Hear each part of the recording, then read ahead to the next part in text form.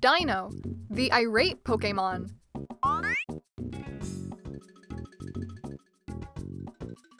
Yeah, he looks furious. More like I rate him a 10 out of 10.